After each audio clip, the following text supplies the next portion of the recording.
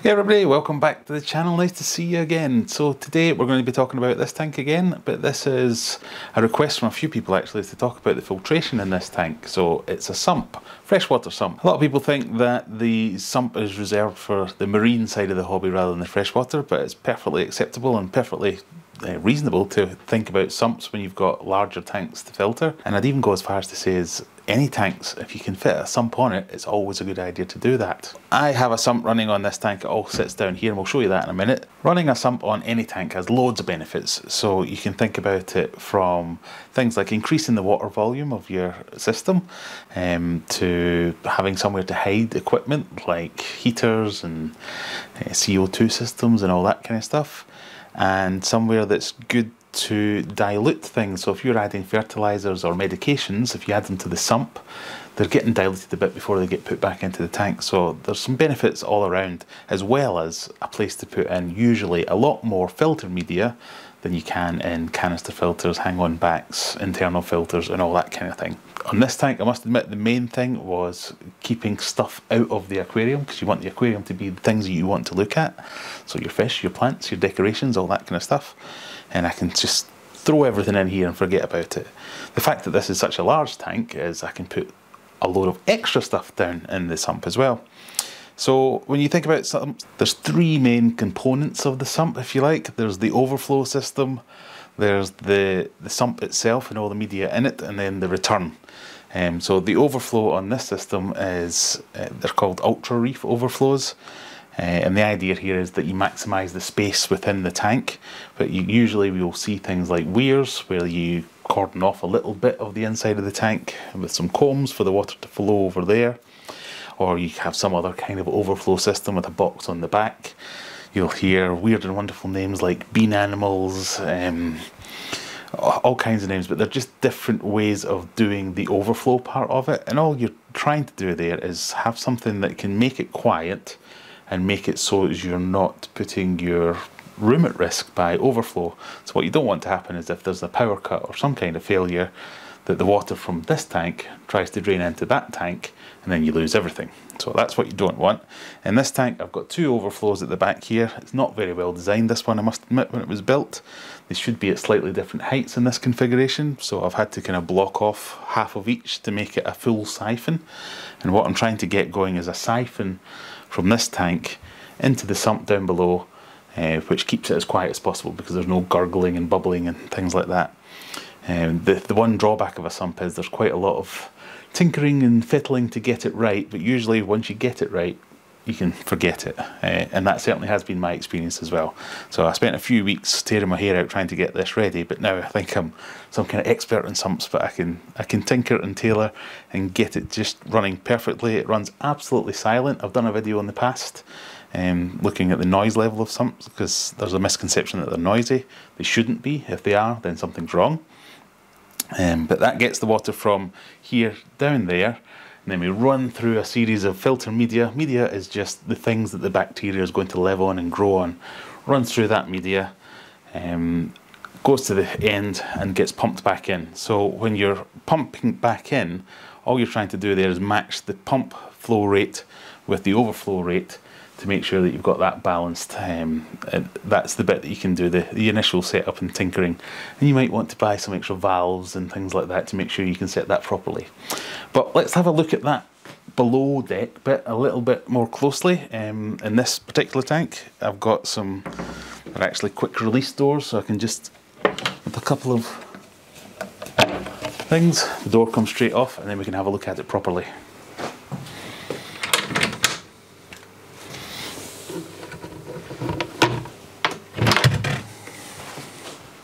So what we have here is the overflows are on this side of the tank. We've got the two over there, they come down here into these two pipes. Um, and these two pipes have one which is the primary, which is this one here, which has the valve on it. And this is the valve that I talked about earlier where we can do the fine tuning to make sure that this, the in and the out is balanced. And that's what helps keep it silent. That then drops into the initial first chamber and I have the pipes under the water line here. Again, another technique to keep it quiet. Uh, what you could do here would be use some filter socks, and they're the, the first bit of filtration which take out any of the muck that's coming in through there. But in this particular sump, the way I have it is nothing in that very first chamber, a baffle here, and then it goes straight into a pad of filter wool at the top. Uh, I use this stuff here, which depending where I get it from, Wish, eBay, whatever it might be, just buy big rolls of it, cheap as chips. Can, people talk about buying filter floss, uh, pillow, batting, matting, that kind of stuff. Just something that's fairly fine, that's going to catch all the first initial set of particles that come through.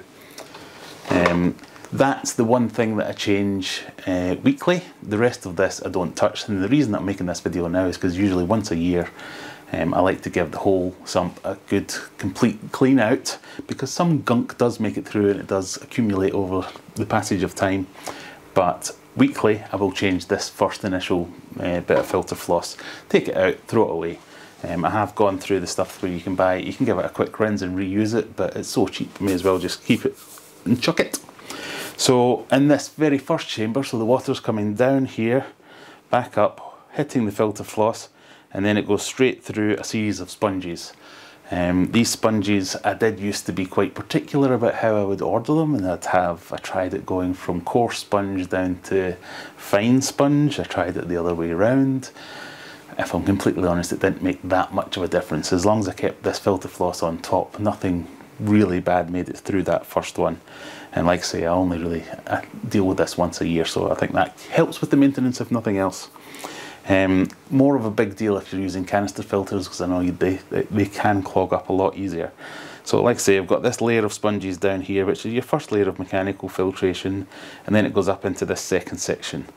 Um, and here I have another layer of sponges, so I've got one, two, three, four, five, six sponges in this one, where it comes back up and goes through them, but I've orientated these um, vertically and then after them, I've just got some spare media. Now in here is things like Biohome, things like Alfagrog, ceramic rings, bio balls, just anything and everything that I've had lying around just because it's a really good um, place to keep extra media. And what I use these for is when I'm starting up a new tank, I can go in, grab one of these fully cycled media bags and pop it in whatever filter I want to use and that gives me that instant cycle in the next tank I'm trying to set up. So what you might find here is people might use this as some kind of refugium to grow plants. Um, in the marine world, they have some kind of algae and things like that to keep it all down in the sump below but it's just a spare chamber in this particular setup so I use it like that. I did when I first set this up and I had uh, fish that were getting beat up a little bit. I'd pop them in here if the, I could find the aggressor, I'd pop them in there for a bit and give them a bit of time out which would give the fish upstairs a little bit more time to recover and then I could cycle them through but I don't really use it like that anymore. So what I've got here is mechanical more mechanical, start the biological, and then I've got another two sections here, which is just more. This is my main biological sections. And here I've got more biohome. Um, I've got some bio bricks. Uh, I'll talk about these a little bit more later, but more biological filtration. And then I've got this last chamber here before the return pump. It's where I've got my CO2 injection going on in here. I've got the heaters in here. I've got some bubblers in here for some air stones. So well, I run CO2 during the day and then at night I turn on some air stones to give some extra aeration. And that happens in here. And then this final chamber is where I've got the return pump.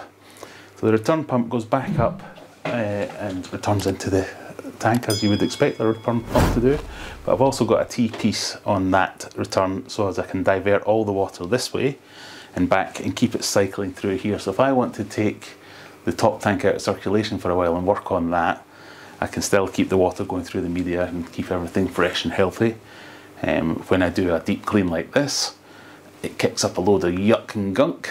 Um, I don't want to necessarily spit all that straight back into the tank when I turn it on, so at first I'll turn on that T-piece so as it filters the gunk out first and then turn it back into the tank so as I'm only putting the clean water back into the tank. So that's an overview pretty much of how it works. What I'm going to do now is just going to take all that out, put it into a bucket I prepared earlier.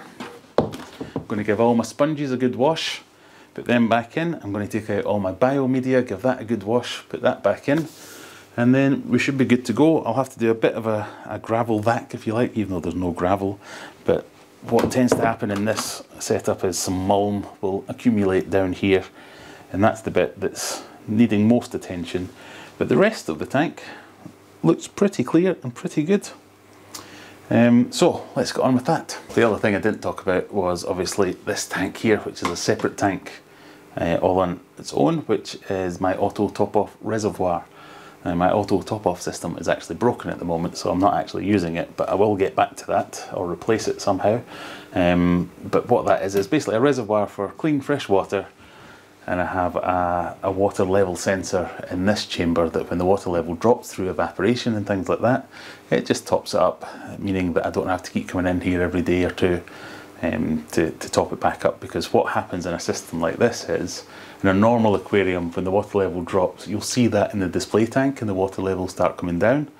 Uh, but a sump, another of its benefits is that it always maintains that water level wherever you set it and the water level drops in the sump and that can be bad if your pump can't handle it because you could end up running a pump dry. But in reality what really happens is you end up running a pump noisily as it sucks in bits of air and that alerts you that it needs topping up.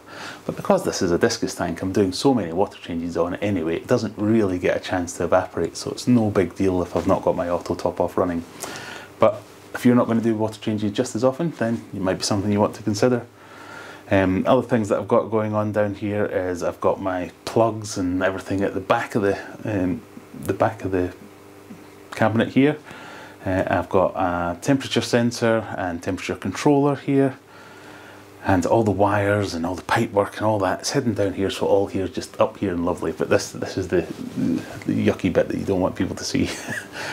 Um, so yeah let's get on with that cleaning and we'll get everything out and rinsed so I've just started pulling out all the sponges out of this first section and as you can see it's made the water go all gunky coloured. But something else that you notice when you first when you start doing this type of cleaning I don't know if it'll work now. You see that?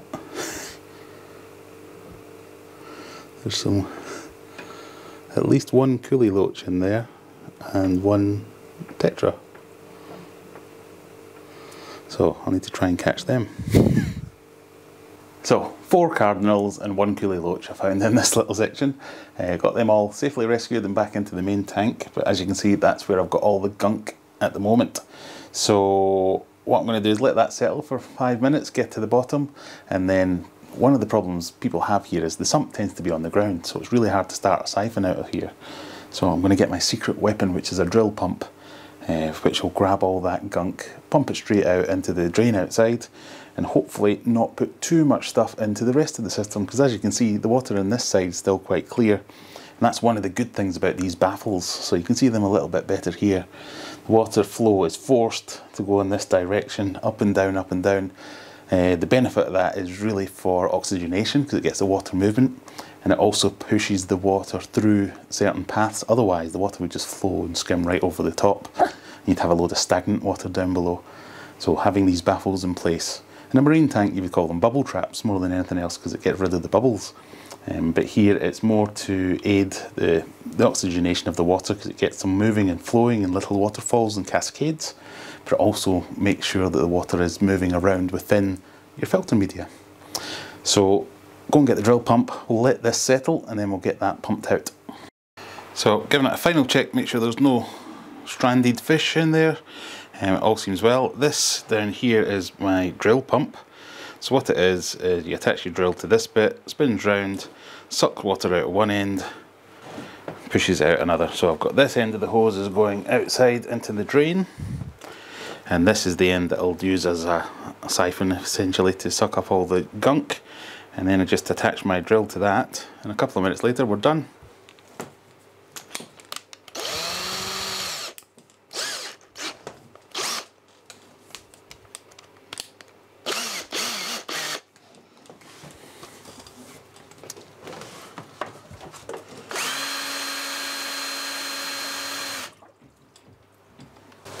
Helps if you put it in the right direction. So there we've got all the sludge out of that compartment now. Um, that drill pump works really well. I've taken all the sponges out there in my bucket here. So that just needs swilling round Um, same as you would with a canister filter, sponges. Um, swirl them round with either old tank water or fresh water, not tap water because that might kill your beneficial bacteria. Um, get them back in. Now just take out each of these bags, do the same sort of thing, and we should be good to go. Okay, we've got all our sponges back in, um, all rinsed out. We've got some nice murky water, which is just lovely. Um, now, that's the mechanical filtration done. I'm going to go on to the biological filtration next. And again, this is one of the beauties of sumps is you've really got enough space to do whatever the hell you want in there.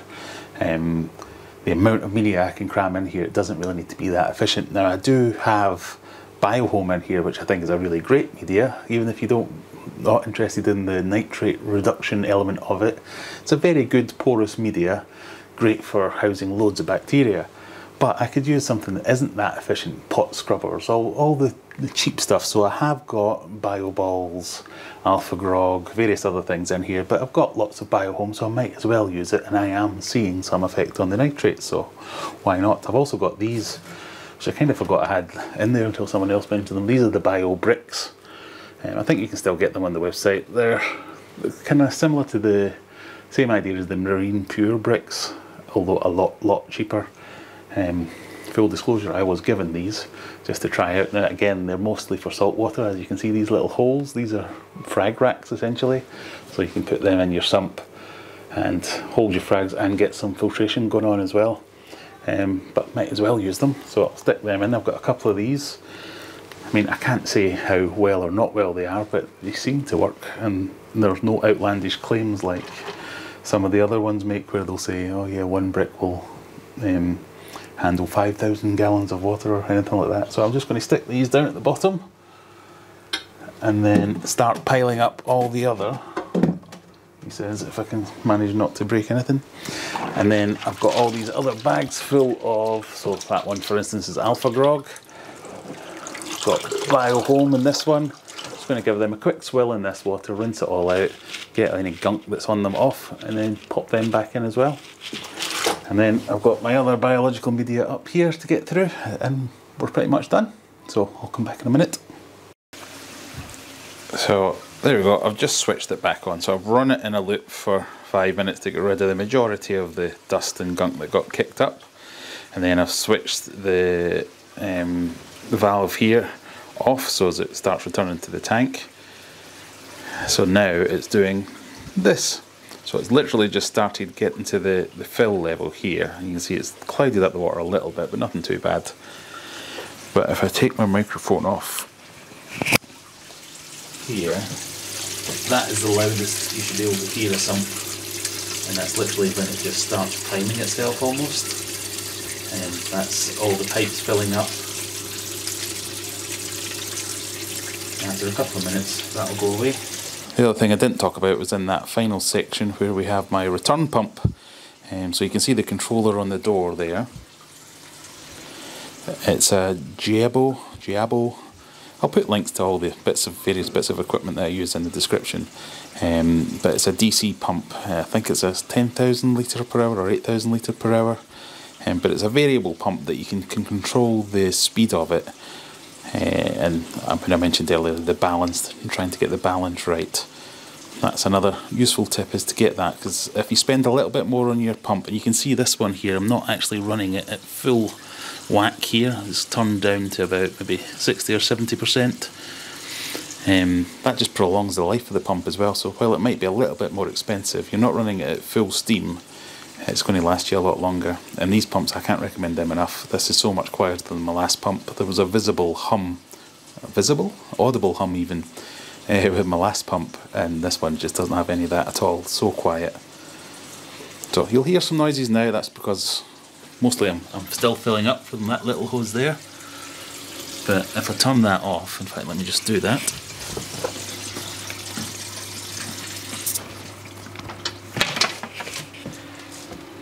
Turn, turn that off and now everything's pretty much there. There's still the odd little gurgle, but that'll go in a couple of minutes. But I'll put the mic down here again, you can see that it is really quite quiet.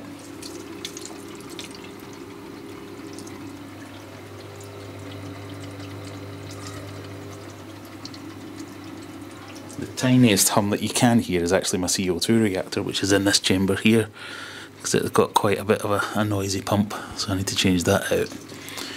The rest of it, good to go. So another thing to notice here is, you see where the water level is. So this is the sump running now. So what you'll notice here is the water line here of the various chambers in the sump still leaves a load of headroom in the actual sump. What that's all about is letting you choose the water level up in the display tank up here um, allowing for a power cut so as if the water did drain from the top you've still got plenty of headroom for the sump to contain it and it doesn't end up on your floor. And then conversely, if for instance something blocked up in the overflows, this is the amount of uh, water that this pump can actually pump into the tank so you've got enough headroom in the tank as well to make sure that you don't get any flood that way and then the pump obviously should turn off so that's a good tip to make sure you get the pump that will turn off if it detects it's running dry. So this chamber is the maximum amount that it can pump back in without flow coming down and moving the water through. So that's it, all back to silent running, nice clean water. Um, usually when I do any kind of maintenance it makes the tank go a little bit cloudy so it's not quite as see-through as I would like it but it'll get there in a couple of hours. Um, if you like this kind of stuff please click that subscribe button and um, there's lots more of that. Also there's some links in the description. You can follow me on all the social medias. I'm trying to post every day on uh, Instagram with some pictures of this tank and all the other ones downstairs.